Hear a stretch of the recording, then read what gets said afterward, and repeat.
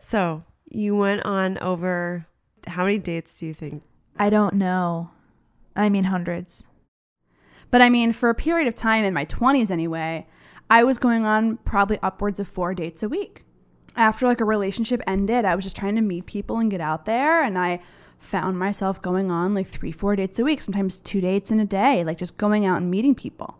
I would literally go and like have drinks with someone or dinner with someone. Like, that is it. I don't want people to get the wrong idea. Do you think that of all of the highs and lows that you went through, would you say that that was worth it? Oh, absolutely. I think I had to go through all of that. I had to go through all those highs and lows to figure out who I was and what I wanted. And, and maybe I'm still figuring out why I had to go through that. You can meet the right guy at the wrong time, which is exactly what I did. And I was lucky enough to find him a second time. This is Jen. In 2011, I moved to Los Angeles from Chicago. And Jen was one of the first people I met through a friend. I was in the midst of a breakup from a four and a half year relationship. I had never really dated per se, in the sense of simply going on dates. And I was trying to wrap my head around the online dating phenomenon. So I brought it up to Jen, having heard through the grapevine that she was a participant in the dating scene. And kind of bitterly, she responded, Dating in LA sucks. When I said dating in LA sucks, I was online dating like a G6, let me tell you what. And it was a roller coaster you know, you start talking to someone on like whatever website you're talking to them on, and they're kind of cute, and so you get excited, and then you never hear back from them, and you go back down the roller coaster, and then no, you're talking to someone else, and they're kind of cute, and they seem awesome, and then you meet them, and there's something wrong with them, and you hate them, and then oh, you like someone, and you meet them, and then they don't like you, and they never call you back, and then you're back down the roller coaster. People were always looking for the next best thing. And some people were just interested in next, next, next, next, next, always looking to one up who they'd been with before. And it was really hard to make a real connection. And there are a lot of people that aren't honest. Jen is originally from Florida, West Palm, close to Disney, beautiful beaches. She loved everything about her experience growing up, except that dating was nil. I had never really dated. I didn't go to a high school where there were single straight guys. I went to an arts high school, everyone was gay. You went to an arts high school? I went to pretty much fame, but in Florida. There were like four hot single straight guys that were always dating someone, usually one of your good friends.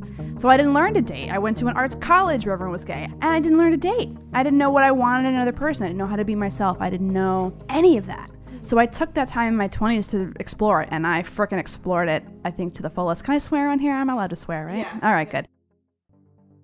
Jen went to school in Boston at Emerson College.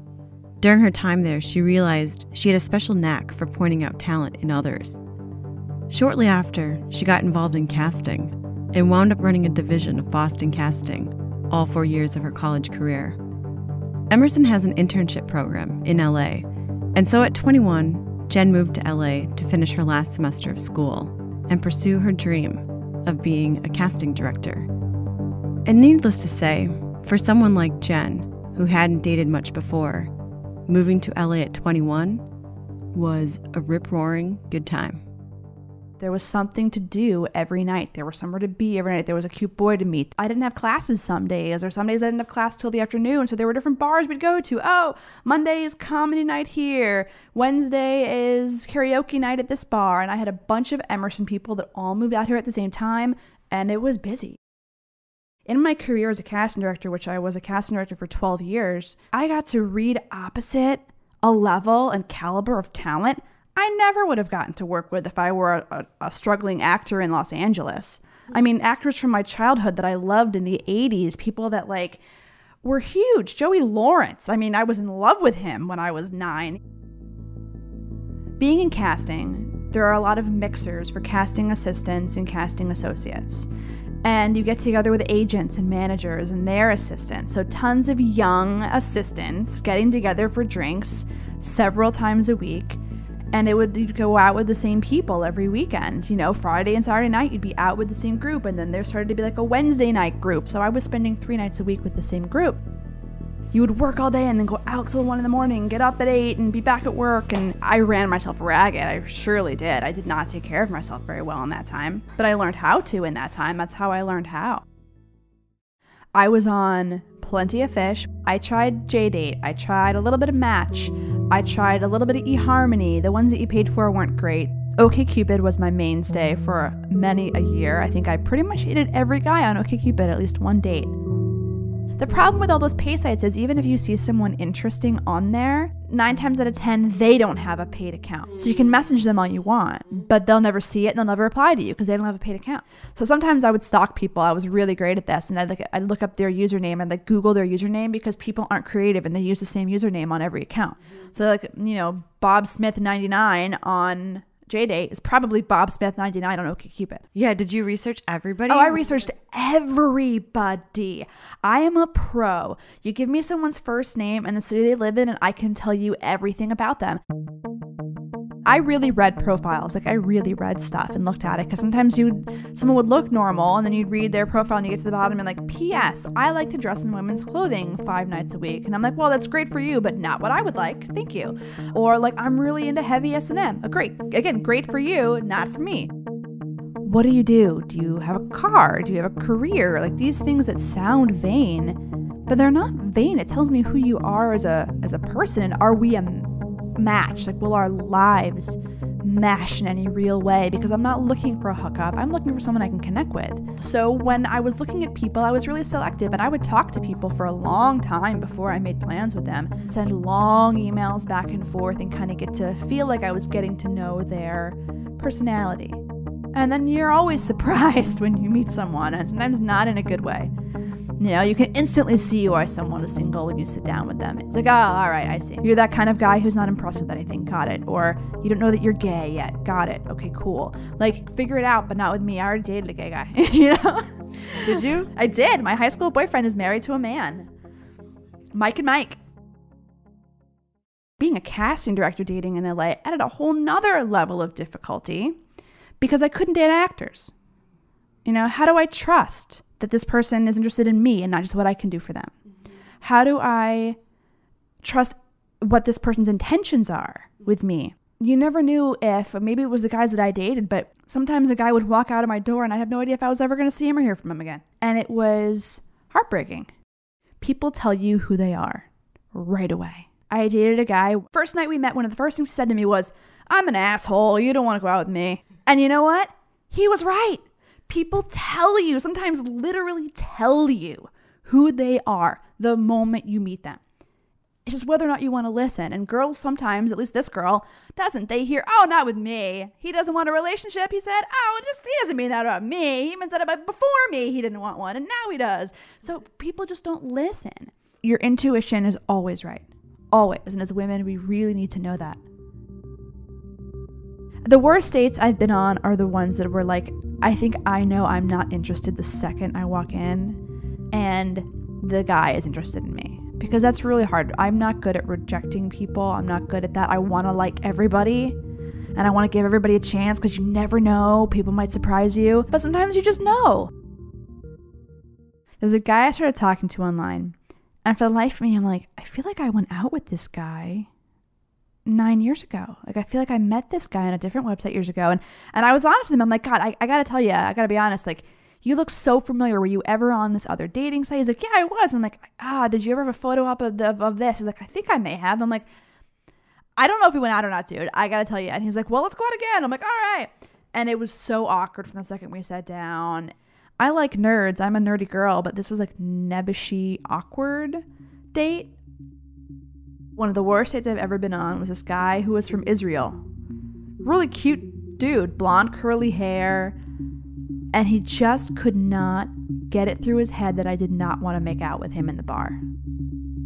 Putting his arm around me, grabbing my butt as we're sitting there, walked me to my car, shoved his tongue down my throat. I went to the bathroom one point in the night and the girl was like, Oh, how long have you and your boyfriend been together? I'm like, He's now my boyfriend and I cannot get this man off of me. I don't know what to do. I dated a guy who was getting married the following weekend after our date. Okay, here's my worst date ever. I was in my mid 20s and I was talking to this attractive guy. I met him online and he's like, Oh, we should go to the shooting range downtown. I'm like, Yeah, that sounds, I've never done that. That sounds really cool. We go to the shooting range and it was interesting. And he kept wanting to shoot like bigger and more interesting guns. And like, so when the end of the day comes and they give him a check, he wants to split it with me. I paid like 80 bucks to help him shoot guns that I didn't even shoot. So we walked in my car, he tries to kiss me, and I'm like, oh, I don't know, I've got a vibe. I'll go out with you again, I'll give you another chance, but I'm not gonna kiss you right now. So I go home and I'm literally leaving to go out of town like the next day. And he wants to see me that weekend. He's like adamant, has to see me that weekend. And I'm like, I'm sorry, I'm going to Hawaii. Like I can't, I'm not, I'm literally not in town. So it's something sets me off. Something triggers a little question in my head.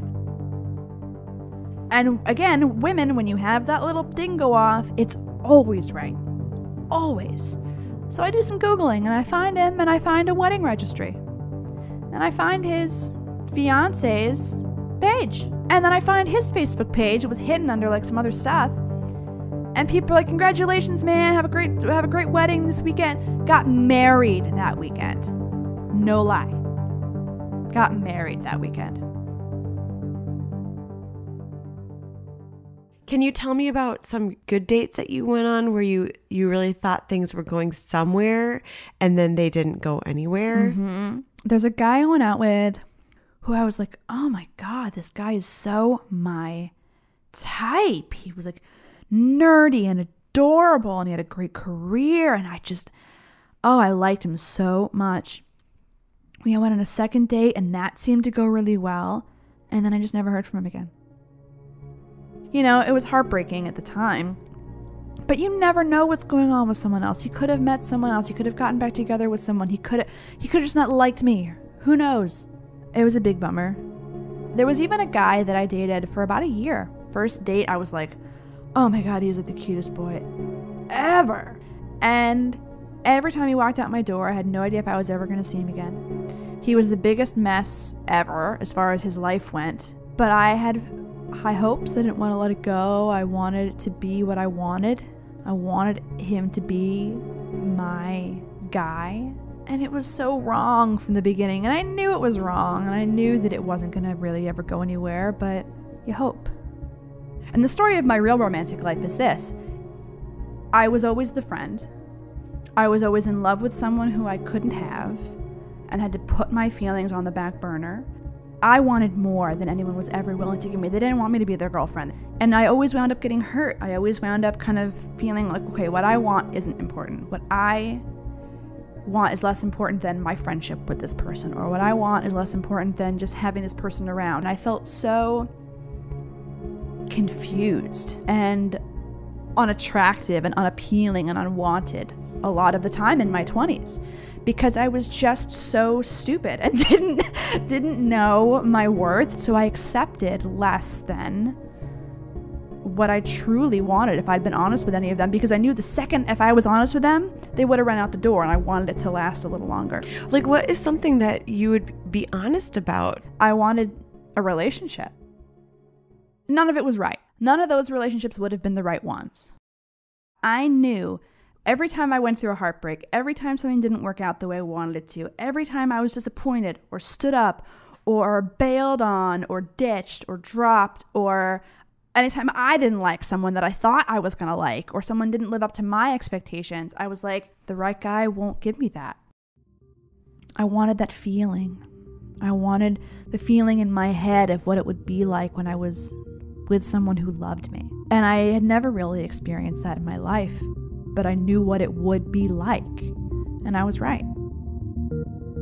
Here's why I was bad at dating, and I'll loop all this together. I was bad at dating because I'm impatient. I don't like the rules of, you're a woman, you can't call him.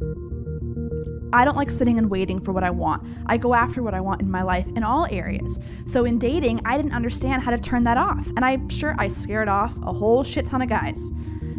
But that was fine. If they don't like that I'm gonna be the one to call them or text them and say, I had a great time, I'm not being a crazy girl. I'm just being like, hey, you're awesome, I had a great time, would love to see you again, thanks for dinner. And if they can't handle that, then they're not for me. I got to a point where I'm like, okay, the right guy won't even make me wait. When I'm with the right guy, I won't have to wonder, am I going to hear from him? Should I text him first? It's been two and a half days and 14 hours, but I don't know. I might hear from him. He said he was going to call me next week and it's Friday, but maybe he meant Sat. The mind games that you play in your own head almost every woman I know does it. And beyond that, the right guy for me won't make me do that. He'll be calling me before I have a second to even think about if I'm gonna hear from him. He'll be calling me before I even think about should I text him first. And that's exactly what Brian did. Like, didn't give me a second to wonder, made his intentions known. And when Brian and I got together, it was everything they say it'll be when a guy is into you. Everything. I had plans with a, an old friend of mine, and she calls me up and she says, Is it, is it cool if my friend Brian comes? We had plans, or he wanted to hang out. And I said, Maybe he can come along, he'll drive. And I'm kind of brash, so in my head, I said, Oh, I wonder if he's cute. No, don't say it, don't say it out loud, don't jinx it. So I was just like, All right, yeah, sure, why not? And then they come to my apartment to pick me up, and they walk in my house, and my inner monologue goes, He is cute. So I thought he was adorable, and of course I made the first move and got his number, and we dated for about a minute and a half. Went to a movie and dinner where we got into an argument about Indiana Jones because the new Indiana Jones movie had come out, and I didn't hate it. I know, I know, I know. Everyone The fourth it. one? Yeah, I know. Shut up. I had just seen it, and there was something about it that I wanted to fight for, that I wanted to love Indy no matter what it was. And I, at one point where he and I were talking about it kind of heatedly, I was like, wait, wait, are we arguing right now? Like, I, is this an argument? I thought we were just talking about it. Uh, we, we didn't see each other again after that. I was fortunate enough that while I was doing this interview with Jen, Brian came home and was able to weigh in on the discussion. And to be clear, it wasn't just Indiana Jones they had argued over, it was also Ghostbusters. Janet felt Ghostbusters 2 was the better Ghostbusters. And in Brian's words, it galled him. Now, to get an idea of the context of both of their lives at this point, Brian's career, he's a television writer, was just blooming. He had just gotten off a show called Kyle XY and had gotten hired as a script coordinator on One Tree Hill. He was also starring in his own play. Here's Brian. I started working at One Tree Hill as a script coordinator before the play started, so I was also starting a new job at that point. So I was really, you know, I had a, lot going on, but also was kind of transitioning in, you know, in my worldview. Like I was very convinced that like I was a big shot and what I was doing was like super cool. And I decided to do something big, which I'm really proud of. So the question is like why did I not chase it down because I was like charmed by her immediately when I met her and I mean Jen might say I still am capable of being kind of like a dickhead about things. Like the fact that she really thought the Ghostbusters 2 was, you know, the better Ghostbusters movie. It just was like unacceptable to me, you know, and the Indiana Jones in absolutely just me being like callow and young and kind of not getting that this is somebody who could really see me. There was something else that was bothering Brian. Jen had a hamster. Yeah, well, uh, so this hamster that she had in her place, you know, which I got it immediately. It's like, wow, this is a woman who's in charge of her own, you know, she's making like her own way. She's got her place, you know, not only does she have her own place, she's got a hamster. And now I needed to figure out what I think about this hamster. She just told me the other night that some dark individual like made it a secret Santa gift. So everybody immediately was like, you know, hot hot potato on the, you know, taking care of another life. But Jen leapt in and took care of this thing for years. Of course, Brian couldn't see any of this at the time. And Jen, conversely, was preoccupied with her own life changing events. I just gotten out of a big relationship. We had had this off and on anti non pseudo relationship for three years. And when it ended, I went into a huge spiral. My heart, like, physically hurt. And I dove into studying Buddhism. I dove into meditation. So I was really at the beginning of a lot of very intense self discovery. And I wasn't ready for Brian then. Six years passed. And in that six years, Jen went on to get her MBA in entertainment. She switched careers. She got her own big apartment and she adopted a dog named Bailey. I had figured out what I wanted and what I didn't want and knew what I would accept and what I didn't accept. I was just waiting for the right guy to come along and see it. When I got the dog, it was like, here's the love. Here's somewhere for me to channel my love. Here's a place for me to be to say, I am so thankful for the love that I have. I may not have the love that I know is coming someday and the love that a part of me wants really badly, but focus on the love that I have. Look at this love this little creature is giving me and that I am able to give to him. Brian, in turn, began living out his dream as a full time writer. And in the course of life transitions, there is always the sweeping away of the old in order to make room for the new. And in Jen's case, she swept her Facebook, and Brian's name happened to get caught up in the debris. she mentioned to you about the Facebook thing, and I noticed that she defriended me. You know, it kind of woke me up a little bit. So I kind of thought about her, and there was some spark that I guess like was really always in there, and you know was triggered by her being like, "All right, no mas." I get a message on OKCupid saying, "Hey, have you been? It's Brian. Like, hope you're well. I was gonna invite you to my birthday party this weekend, but realized that you had deleted me from your Facebook. No hard feelings." And I was like, "That's interesting," because I had recently gone out with a guy that reminded me of him, but he was less cute. And I'm like, oh, here he is. He's single. He's messaging me. I've changed a lot in the last six years. Maybe he has too. I'm like, if this guy wants to see me, he can take me out. So he did.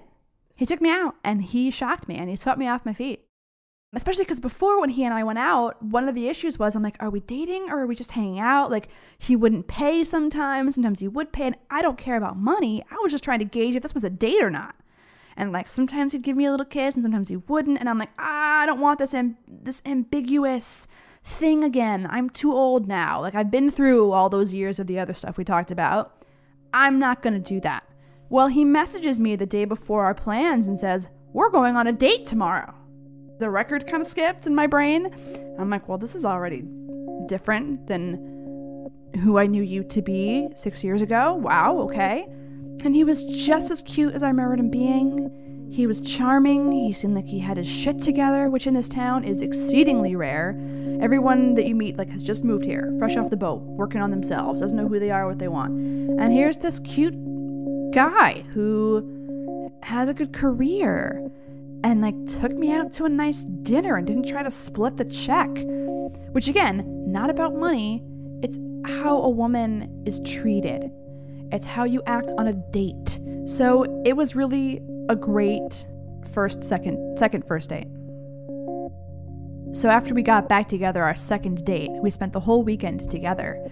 And I kept waiting for him to kind of get sick of me or tell me he had somewhere to be or tell me he had something to do. And it didn't happen. He just kept wanting to be around me and then started calling me. Within a few months, he was inviting me home to meet his family. For every time he called, he's like, oh, he's going to cancel this trip. He's going to cancel it today. No, he's going to cancel it. Never canceled it. We went and met his whole family, and they were awesome. We moved in together in December of last year, and I couldn't believe it was happening. It felt so surreal.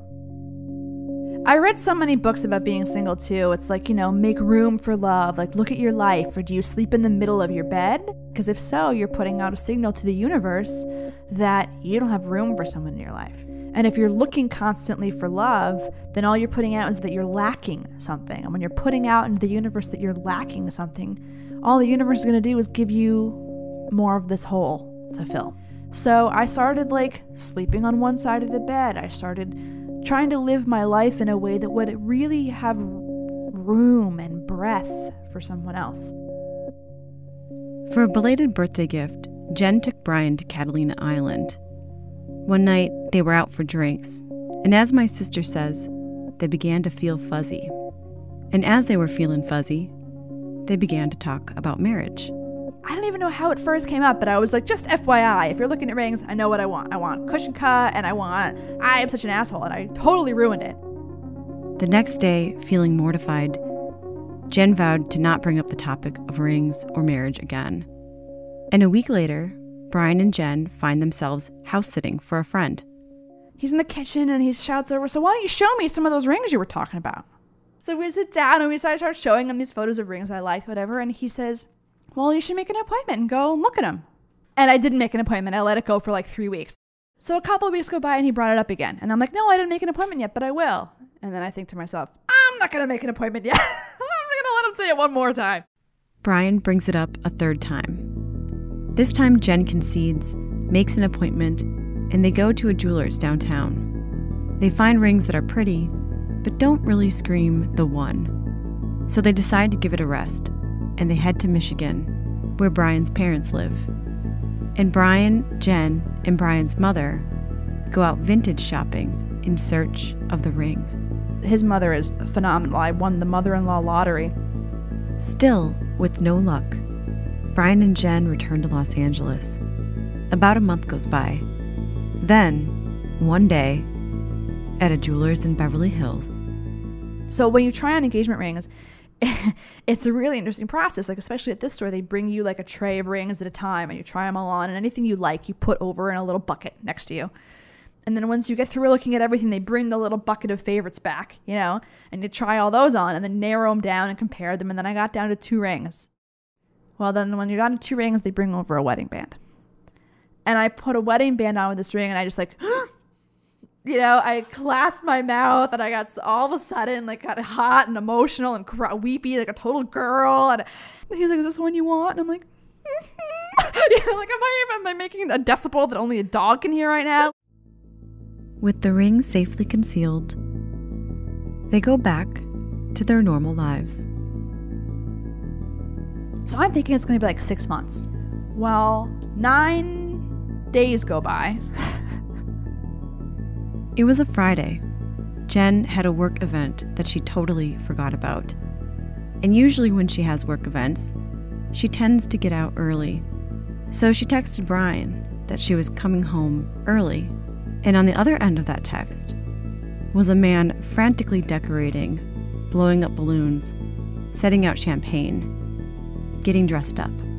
Well, I walk in in like jeans and a t-shirt from this work event, and I see this gigantic bouquet of balloons, and then I see a giant arch across our sliding glass doors in our living room. It's spelling out "I love you, Jenny," and I'm just like, like I was as shocked as if we if I didn't know we had a ring. And before I know it, he's like, "Put your stuff down. Come here." And I'm like, "Okay." And he proposed to me right there on the floor. Got down on one knee and said, "You know, we've got a reservation for dinner at this place. Go get changed." And it was magnificent. The whole night kept being like, "I proposed to this young lady tonight, and this lady agreed to marry me tonight." I felt for so many years in my dating life that even guys I was kind of going out with were ashamed of me or like just didn't want to be with me. And here's this guy who not only loves me for who I am completely, but is proud to be with me.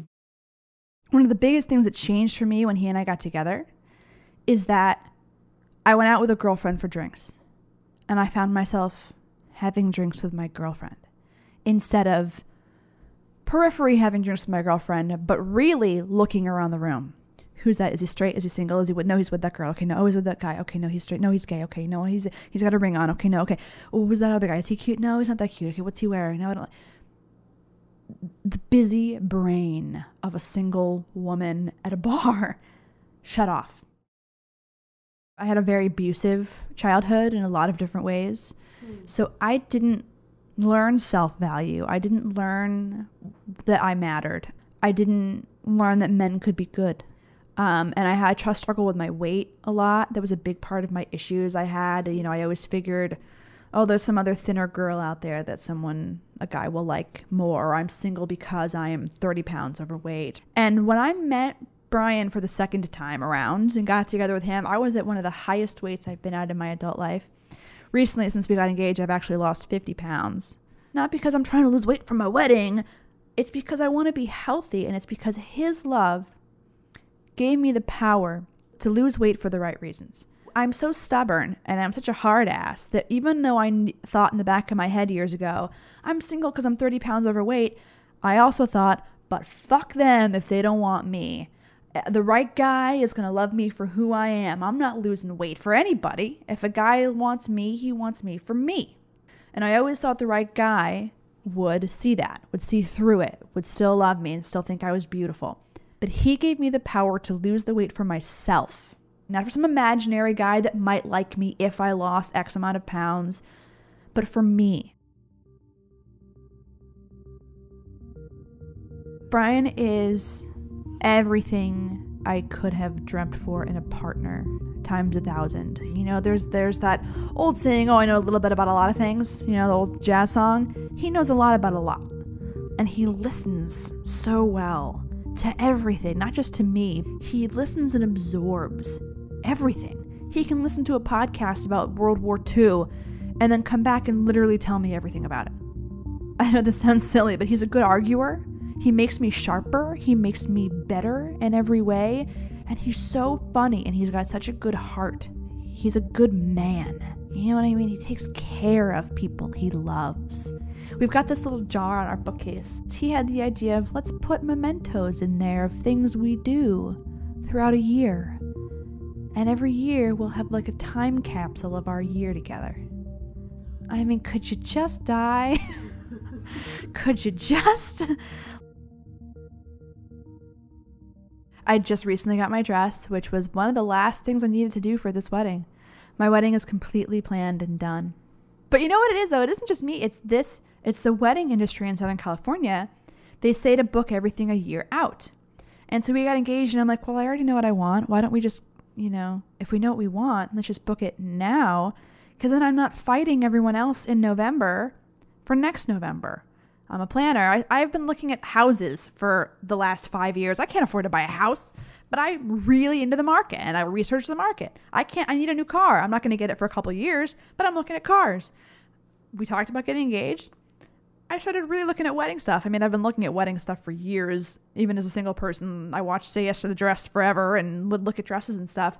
But when we started talking about getting engaged, I really looked up like what do what are the things that people say they forget? What are the things people say, "Oh, I wish I'd spent more money on this or less money on that?" You know, what does it really cost? What are what are the details that go into planning a wedding? Because let me tell you, there's a lot. And the dress and the invitations were the hardest part. I went to pretty much every dress shop in LA. I started trying on dresses 40 pounds ago and had a really shaming experience at one store, body shaming experience. It was very traumatizing the first weekend I went. Somebody that worked there shamed you? Literally told me, I don't know what to put you in. I mean, come back when you lose weight. Your this is like nightmare. pretty pretty woman, like Yeah. Rodeo Drive. And that's like, where it was. That's where it was. I don't know if I should say where it was. I can say I don't care, but it was at Saks. Fuck them. But then I got my dress actually at Panache in Beverly Hills, which my chick was awesome. Everyone at Panache has been awesome. Love them, love them, love them. My dress was sewn not what I thought I wanted. I thought I wanted some like big floofy thing, and every time I tried them on, it just didn't feel right. And the dress that I got, I won't tell you much in case Brian or anyone listens to it, but like, it's just me.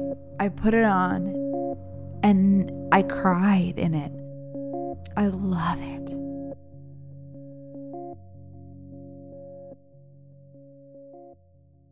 Do you think that women should not be texting? It isn't that women shouldn't be doing it, it's that women shouldn't have to. The reason women do it is because they're nervous of if they're going to hear from a guy they like. You go on a date with someone you really like him and you're the moment you get you walk in your door home from that date, you're wondering when you're going to see him again. You're wondering when you're going to hear from this guy. You know, a day went by. I went out, I went out with him Saturday, and it's been one, two, three, today's Wednesday. It's been three days. Can I text him? I don't know. Am I ever going to hear from him? If I don't text him, what is the harm if I just do it? And I would get to a point where it's like, I could have just texted him already and gotten my answer. And I and I do recommend that because if you're the kind of person like me who would kind of drive yourself nuts wondering, put yourself out of your misery and just text the damn guy. If he can't deal with you texting him, too bad. But I will tell you, nine times out of 10, if you need to do that, he's not the right guy. Hmm. Because the right guy won't make you wonder, won't give you those three or four days, won't play the game of waiting a week to text you, or two weeks, or three days, or two nights, or whatever the new number is that the rule books are telling you about dating that it should be before you text someone. The right guy won't make you wait that won't leave you wondering, won't leave you guessing. He won't want to lose you to the next guy that comes along. You are not alone. You are worthy of probably more than you are accepting. And the moment you stop accepting it, the moment you stop responding to midnight texts and going out with guys that you're not even that attracted to because you don't want to be alone, the moment you stop going out with the guy who you think is cute but no it can't go anywhere but you really hope that maybe he'll turn his life around since he met you and you're going to change his stop. The moment you stop that you make room for what you really want because as long as you're accepting all this other stuff that isn't right you're not you don't have room in your heart and room in your life for what is right. Let go of all of your self beating up. Be your own best friend, be your own ally. If you it's again another stupid saying that is so true. If you don't love yourself, ain't no one else gonna love you. You know, if you don't love and take care of yourself first, you can't expect anyone else to come in and sweep you off your feet and appreciate you if you don't appreciate yourself. And beyond that, it's a numbers game and it's timing. You know, there's a lot of fish in the sea. It's it's a stupid saying, but it's true. There's a lot of, you know, sad fish and unemployed fish and partially homeless fish and uh, fish who don't know who they are and fish that want to date a whole bunch of other fish. There's a billion different kinds of fish. You only need one. There's a quote that says, You want to make God laugh, tell him your plans. Well, I've made God laugh a whole hell of a lot up there, you know. She's laughing at me all the time. But like all the all the plans in the world are really nice. But I believe that for me anyway, what was destined and what is coming to me has always been better than anything I could have planned because it has been. The theme of our love and of my life is that if I ever second guess myself, if I ever question anything, all I have to know is that Brian was brought into my life not once, but twice. We both had to be slapped across the face and been like, yo, this is the person, fucking get it together. Not once, but twice. A few years ago, I took a trip to New York to visit a friend, and that friend told me dating in New York sucks. I then traveled to Italy for a wedding, and a girl from the small town I was in told me dating there sucked. And it's not just girls, I hear this from guys as well. But why do you guys think this is? Meeting someone should be easy. The apps practically bring suitors to our front door. But why does it still feel foreign and inorganic? Why does it feel exhausting? Maybe I should get more in the mindset of Jen and look at the apps as an opportunity. Or maybe I should just keep living my life and see what happens. I like the second option better. I'd love to hear your stories or thoughts about dating. What's been difficult for you? What you'd like to see change? Why you think people across the world have a hard time with dating? Or why it comes easy to you? You can send me a message on our Facebook page, facebook.com slash mostlyminutia, or you can email me at mostlyminutia at gmail.com or tweet at mostlyminutia. Minutia is M I N U T I A. Thank you to Jen and to Brian for sharing their story. Jen and Brian are getting married this November 12th, which, as it happens, is the same day as the Enchantment Under the Sea dance, where George McFly and Lorraine fall in love. Congratulations, Jen and Brian. I hope your wedding is so beautiful. All music today by Chris Zabriskie. Thank you, Chris, for letting me feature your music. You are talented, and I love your minimalist approach. You can find more of Chris's music on bandcamp.com. This episode of Mostly Minutia was recorded on location in Studio City, California.